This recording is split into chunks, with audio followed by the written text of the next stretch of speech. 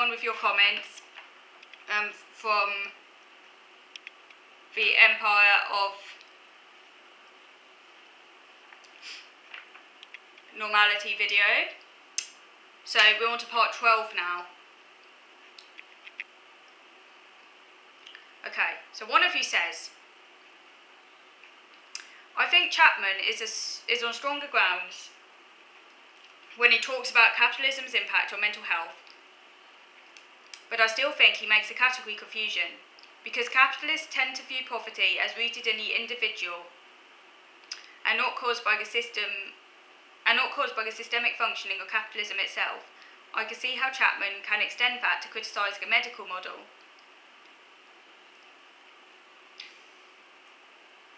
However, I think that's a mistake because poverty, as real as it is, is only real in relation to the fiction that is money and economy. In societies with no money and no wealth accumulation, there is no poverty, so poverty is 100% a social construct. Illnesses and disorders are, however, biologically and physically real. One thing that capitalism has done, which I believe has really damaged mental health, is the promotion of the idea of happiness. Happiness is central to getting people to buy stuff that they don't need because you see, because you sell them, the idea that purchasing the items will bring this state of happiness. The ACT therapy themed book, The Happiness Trap, goes into this idea quite a bit.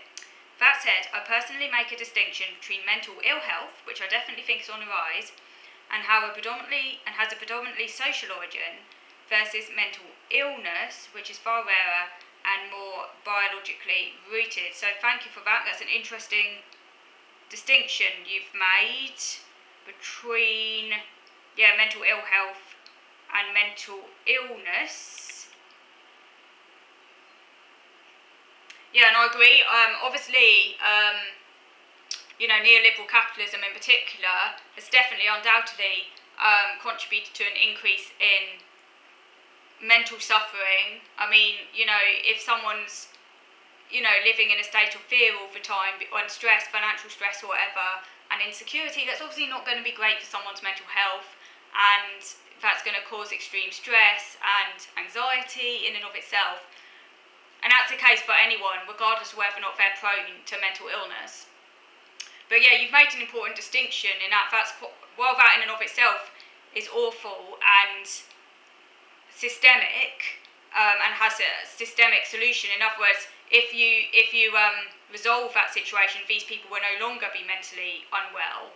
Um, that is 100% socially caused, but as you've made clear, that is quite different to people who have a biological vulnerability to mental illness, which and that biological vulnerability to mental illness will exist no matter what society that we live in. So you can imagine like a perfect kind of socialist society you know, where everyone is cared for and there's no insecurity and all of that, you'll expect to see that uh, the stress levels in the society will go down, anxiety levels in general will go down, but you'll still see people with mental illness because actual mental illness has a biological origin and people can be mentally ill even if they're really secure and don't have any of those stresses I just mentioned. People can still become mentally ill. And in those cases, you can see that it has a very strong biological root.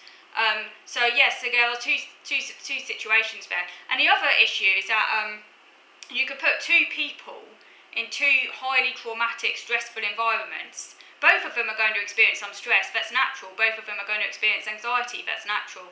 But but but one of them might go on to develop a really serious mental illness. One of them might be pushed over the edge to develop extremely severe mental illness, although arguably they probably already had a vulnerability there already, and they may well have already had previous symptoms that just weren't as severe, and now this traumatic event has kind of pushed them over. Um, but the other person may well experience uh, higher levels of stress, but once the situation is resolved, the, uh, that person who experienced an elevation of stress will then their stress levels then go back down and they will no longer have a mental health issue. Whereas the person who's developed a mental illness will carry on with the mental illness even when the situation has resolved because that person has a biological vulnerability. Um, so yes, so I agree with you. I think there, there is a clear distinction between society, societally induced mental ill health and actual genuine mental illness. Genuine mental illness is a lot rarer and it has primarily a biological origin. A bit like, say, someone like me with OCD. I would have to OCD no matter what society because it has a biological origin. That's not to deny the social aspects at all. It's biopsychosocial because obviously my OCD does respond to stress. And if I was in, I mean, and I have a lot of stress in my life right now, thanks to social services, not really helping me, which is really not helping my mental health. But, um, yeah, biopsychosocial. But what I mean is, is that if I was given all the support I needed and I didn't have this constant stress of social services not helping me properly because of cuts and things like that and austerity, um, I'd be in a lot better place. And also, if I was given the therapy I needed and things like that, I'd be in a lot better place. And if I was helped a lot younger, I'd be in a lot better place. So that's the society aspect. Um, but I still have this vulnerability to OCD because that is innate, that's biological, that's rooted. So it's the biopsychosocial model. I feel that reducing it all 100% to society, or conversely to biology, is reductionistic.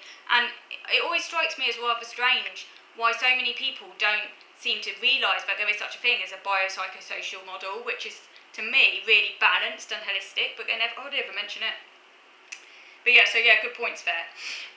So next comment it says to be diagnosed with autism, it is supposed to be significantly impacting your life. I do think that some low support needs people minimise their impairment and claim it is all due to society when it's probably not. Yeah, I do feel that a lot of people are actually in denial. I agree with you. Next comment. For me, autism is a pervasive disorder that impacts multiple domains in addition to employment, such as family life, social life, personal life, education, etc. Chapman's focus on a neoliberal capitalist economy might shed light as to why um, employment may be more difficult now for autistic people, but it can't account for autism itself or the pervasive nature of impairment the condition that Asperger and Sukovira described, Sukhareva, sorry, Sukhareva described fits the experiences of many autistics today, thus showing that the expansion of the autism criteria was not the creation of something new, but the recognition of something that already existed when the economy and society were different in many ways than now. Yeah, I agree with you a lot. Yeah, thank you for that. So next comment. Yes, working is only part of the equation. Yep. Next point. I'm. Next one point says I'm torn on autism increasing.